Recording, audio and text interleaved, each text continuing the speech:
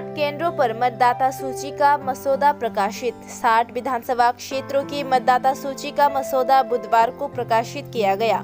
प्रारूप मतदाता सूची निरीक्षण के लिए सभी मतदान केंद्रों, सभी तहसील कार्यालयों, निर्वाचक रजिस्ट्रीकरण अधिकारी कार्यालय तथा जिला निर्वाचन अधिकारी के कार्यालय में उपलब्ध है।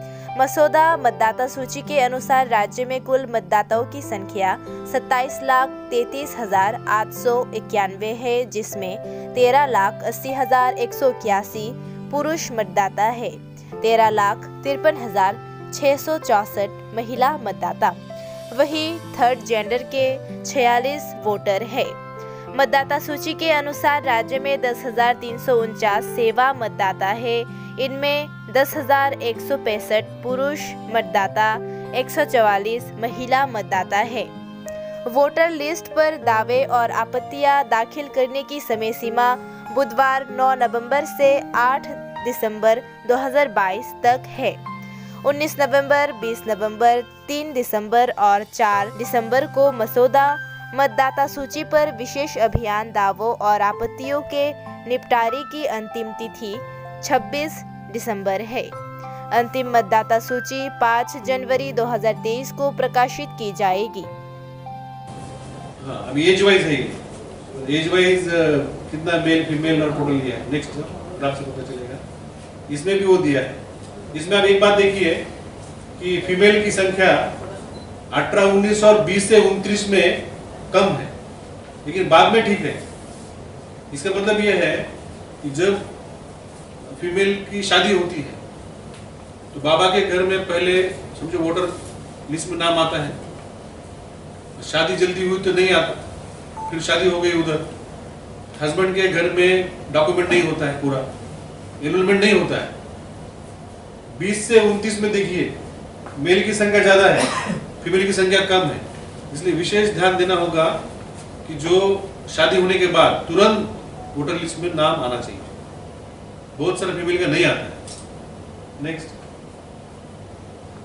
ये अभी आधार कलेक्शन है। आप देखिए, त्रिपुरा पूरे कंट्री में नंबर वन है। इसका है ना, बाकी स्टेट का भी एक लिस्ट उनको भेज देना। जो हमने अभी पूरे देश में अब इलेक्शन कमीशन के इस पे देख सकते हैं, लेकिन आप दे देना उनको Tripura is now number one in the country in the Aadhaar enrolment हाँ ninety four point two three percent हुआ आज तक। और जिनका आधार हमारे पास नहीं है, अभी इसमें किसी के पास आधार नहीं है हम लोग स्पेशल कैंप चला रहे हैं। तो इसलिए आपके माध्यम से हम अपील करना चाहते हैं लोगों को, त्रिपुरा में, जिनके पास आधार एनरोलमेंट नहीं है, वो एसडीएम ऑफ़िस में स्पेशल कैंप होगा। आप स्पेशल कैंप में जाइए और जाके आपका आधार का नया रजिस्ट्रेशन कर लीजिए। नेक्स्ट ये दिया है कि नालविनिंग है एबसेंट है ग्रेड है, आधार नॉट अवेलेबल की संख्या 1.44 परसेंट अभी भी त्रिपुरा में 1.44 परसेंट लोगों के पास मतलब करीब पचास हज़ार के आसपास होगा नंबर उनको आधार नंबर नहीं है। तो हम लोग उनको एनरोलमेंट करेंगे। नेक्स्ट ये आधार सीढ़ी का स्टेटस दिया है। नेक्स्ट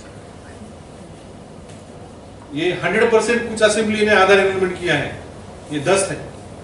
ये असेंबली में 100 परसेंट आधार हो गया कंप्लीट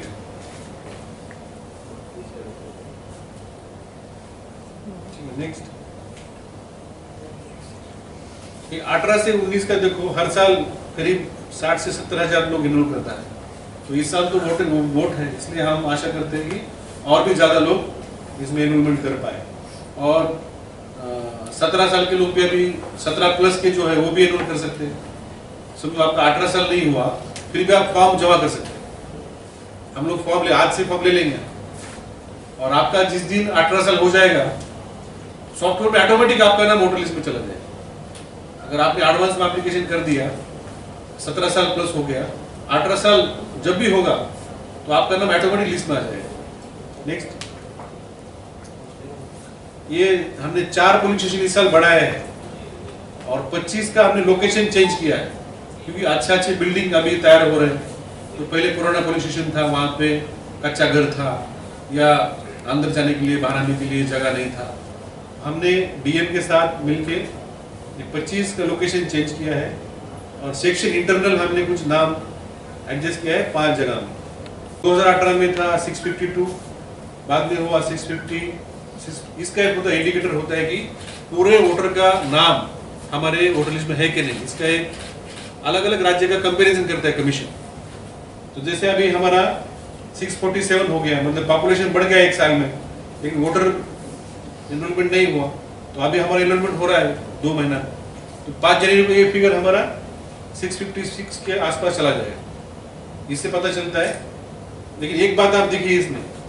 मेल से ज़्यादा फीमेल का एनरोलमेंट ज़्यादा है स्टेट ये मेल फीमेल और टोटल है। जैसे लास्ट ईयर 2022 मध्ये एक हज़ार पुरुषर पिछले 652 मेल का एनरोलमेंट था। लेकिन फीमेल का संख्या कितना था? 658 फीमेल का एनरोलमेंट ज़्यादा है त्रिपुरा में। ठीक है नेक्स्ट जेंडर रेशियो वोटर संख्या में जो हमारा जो वोटर लिस्ट है, उसमें कितने वोटर के पीछे फीमेल वोटर कितना है? ये 2018 में 971 था। अभी इंप्रूव हुआ है। अभी 981 हुआ है। मतलब इलेक्ट्रोल रोल में जो फीमेल का जो संख्या है इंप्रूव हो रहा है, फिर से इंप्रूव हो रहा है। अभी 981 है। नेक्स्ट ये परसेंटेज पोल भी दिया है। पिछले तीन इलेक्शन में लोकसभा में कितना पोल हुआ था? 2009 में कितना हुआ? 84 परसेंट फिर 2014 में हुआ 84 परसेंट उन्नीस में हुआ 81 परसेंट ये पोलिंग परसेंटेज दिया है मेल फीमेल को नेक्स्ट ये असेंबली का दिया है आपको। मेल फीमेल टोटल जैसे 2018 में 87 परसेंट मेल हुआ था फीमेल हुआ था 91 परसेंट फीमेल का वोटिंग चार परसेंट ज़्यादा हुआ मेल से। टोटल हुआ था 89.38 परसेंट नेक्स्ट इसमें ये दिया है कि एज वाइज कौन सी एज का कितना वोटर है? 18 से 19 कितना है? 19 से 20 से 29 कितना है? ये सब एज वाइज दिया है। नेक्स्ट फिर एज वाइज दिया है हमने। कि पॉपुलेशन के हिसाब से कितना वोटर होना चाहिए और ड्राफ्ट में कितना वोटर आप देखेंगे अठारह उन्नीस में हमारा करीब सत्तर अस्सी हज़ार होना चाहिए। लेकिन अभी एनरोलमेंट शुरू नहीं हुआ, इसलिए पहला इसमें कम है और बाकी इसमें ठीक है। बाकी में जितना चाहिए उतना नॉर्मली है। तो अभी जैसे अगले दो महीने एनरोलमेंट होगा तो पहला ग्राफ भी ठीक हो जाएगा। ये है पोलिंग स्टेशन का वन लोकेशन में कितना पोलिंग स्टेशन है?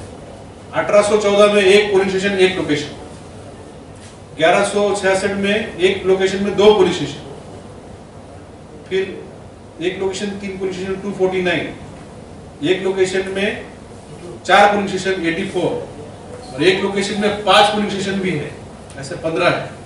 ये बड़ा बड़ा स्कूल है जहाँ पे ज़्यादा पॉपुलेशन है। नेक्स्ट ये पीपल विथ डिसेबिलिटी का मार्किंग है। विजुअल स्पीच लोकोमोटर ये अलग अलग कैटेगरी नेक्स्ट ये शेड्यूल है. जैसे आज से आज ड्राफ्ट पब्लिश हो गया. हमारे पूरे तीन हज़ार तीन सौ अट्ठाईस लोकेशन में ड्राफ्ट पब्लिश किया गया.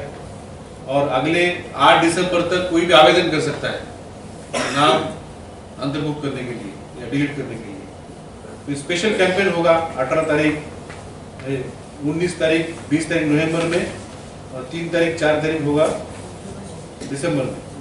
डिस्पोजल होगा 26 दिसंबर तक, और हम लोग चेकिंग करेंगे प्रिंट करेंगे तीन जनवरी तक, और 5 जनवरी को पब्लिश होगा। नेक्स्ट ठीक है, ये हो गया हमारा जानकारी जो आपको मैंने दिया डिटेल में।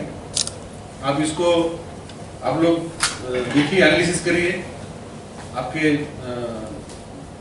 जो, आपको इसमें से काफ़ी कुछ एनालिसिस करने के लिए डेटा मिलेगा और